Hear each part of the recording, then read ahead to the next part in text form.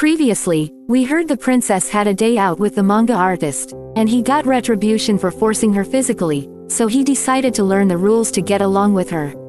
Episode 3. On a fine morning, Ichiro is sweeping the yard, Shiori arrives and looks dizzy.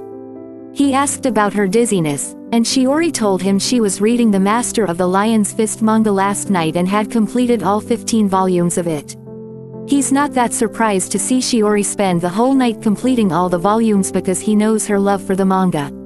She is amazed by the intense bond between the master and the protagonist, and she mentioned that no matter how far they go, sure they will meet again as long as they keep caring for one another. Talking about the distance, Ichiro wants to check out how far they both can go to avoid getting hit by retributions. She also agreed to work with him. Last time, he got a fever for staying two stations away from her. So they decided to measure the safe distance between their stations. As Shiori left, he got hit by the retribution, so he called Shiori to explain her situation. She explains her uncomfortable situation on the crowded train. They realized he would get retribution even though she was mentally disturbed. Shiori apologizes with a sad look on her face for causing him trouble, so Ichiro lightens her up. Because of the experiment, they were able to find the least distance to stay one station away from one another. That brings her smile back again. Then they started to check the next rules, starting with physical contact. Last time, he got retribution for forceful contact. She started looking for ideas in the Lion's Fist manga for things she wouldn't want someone to do. Ichiro was shocked when she asked him to harm her like in the manga, so he asked her to change the manga genre. She picked up the shoujo manga and told him to pretend like someone and sneak behind her to close her eyes. As she turned around, he closed her eyes. He feels her hair as smooth as silk. He blushed and got stimulated, but there was no effect of retribution, so he took his hand off. They were having fun times trying some simple physical contact tips from shoujo's manga. Anyhow, neither of them receives any kind of retribution. She wants to go one step ahead, but Ichiro doesn't want to get his face close to her. Shiori reminds him that this is just an experiment, so Ichiro agrees to do that. When Ichiro comes close to her, Maki and Fumio enter his room. Maki was shocked to see Ichiro and Shiori staying close to each other. They both got embarrassed. Maki closed Fumio's eyes and scolded them not to make out at home. Shiori says they were not making out, they were just trying an experiment, and she thanked Ichiro for helping her. As Maki and Fumio leaves, Ichiro tells Shiori that with this kind of experiment, she can find more things she likes to do. Shiori says she has many things she wants to try. Ichiro suggests her to write everything in Notepad so that she can sort out all her favorite things. Shiori came back to her room and wondered about making digital manuscripts on the computer, because if she wanted to stay close with Ichiro, she needed to work on digital. She wishes to find another assistant job to learn digital work.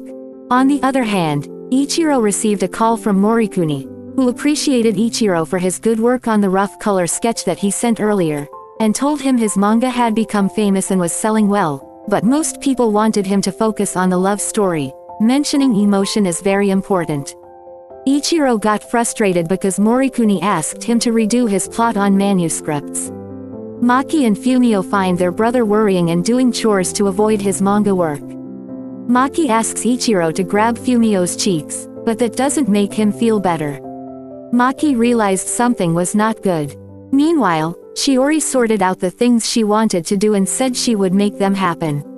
Shiori enters Ichiro's room and tells him she wants to start introducing herself to her new neighbors, starting with Ichiro. She thanked him for his support and asked him to choose one of the welcome gifts. He chose the towel as a welcome gift. She quickly runs to introduce herself to others. Ichiro tries to stop her, saying they won't be here during the daytime, but she goes already with excitement. Shiori walks down the stairs with a smile on her face, along with the welcome gifts.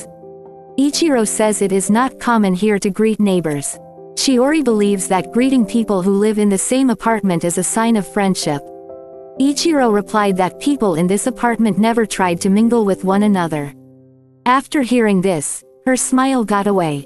So Ichiro tells her to write letters and leave them in their package boxes along with welcome gifts. She is excited to write a letter for her neighbors. As Chibi arrives home, Shiori welcomes her at the entrance hall, apologizes for not offering a proper introduction the other day, and asks her to choose one of the welcome gifts. Chibi thanked her and chose the cleaner. Chibi asked her about the gifts for other neighbors. Shiori replied that she wrote the letter and was just about to leave them in their package boxes. Unfortunately, she doesn't know what other neighbors will like. So Chibi helped her to leave the perfect gifts for other neighbors. As they're talking, Ichiro appears in the entrance hall. Shiori gives him a letter and thanks him for giving amazing tips to greet neighbors. While reading the letter, Ichiro finds her generous personality. She mentioned that she wanted to be his friend. Ichiro is afraid that having a friendship with Shiori will end up being a love relationship. He doesn't want that to happen because he's carrying responsibilities on his shoulders. The next morning, when Shiori enters the kitchen, Ichiro asks her to see the whiteboard. Shiori is happy to see her new neighbors are happy with their welcome gifts. After that, Ichiro is worried about having no idea how to rewrite his plot in the manuscripts. Maki and Shiori are concerned about him, and Shiori wants to help him somehow. At that moment, their apartment doorbell rings, and Maki gets excited and mentions that she is here. Maki quickly runs to welcome Momoka Morikuni, better known as Mokane. Everyone is eating the apple pie in the dining hall brought by Mokane. Maki tells Shiori that Mokane and Ichiro are childhood friends and are married to his editor, Morikuni. Mokane is the one who taught Ichiro all about manga. When Ichiro told Shiori about her pen name, Beefcake Sensei, she was surprised to see Mokane, the creator of the Master of the Lion's Fist, and asked for her autograph. Mokane said sure and asked about her and what kind of manga she was drawing. Shiori replied that she has just started drawing and has not written any stories yet. Shiori got excited and asked Mokane to take her on as an assistant. Her smile got away when Mokane asked about her experience in digital drawing, because Shiori has no experience in digital work. Seeing the sad look on Shiori's face, Mokane decided to give her an old tablet to learn and practice digital drawing. Shiori asked why she was doing a favor for her. Mokane replied that she loves manga and wants the world to be full of manga. As Mokane leaves, she reveals that Maki messaged her to come for a visit to look after their upset brother.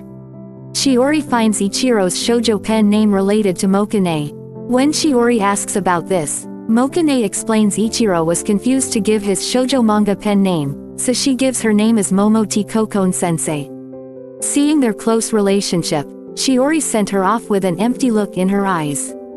After that, Ichiro is wondering about the time he spent with Mokane, and suddenly he has some strange feelings, just like the retribution. So he came to check for Shiori, and there he found her with a sad look on her face. Shiori says his relationship with Mokane is bothering her. Even though Mokane is married and good-natured, their bond makes Shiori feel lonely. Shiori couldn't tell if this was jealousy or love. After taking a deep breath without knowing it, she confessed her love for Ichiro, and they both blushed. When Ichiro was about to talk, she asked him to hold his answer till tomorrow because she wanted to savor these beautiful feelings for the whole night, and she ran away. Even though Ichiro doesn't want to fall in love, he is mesmerized by her charm.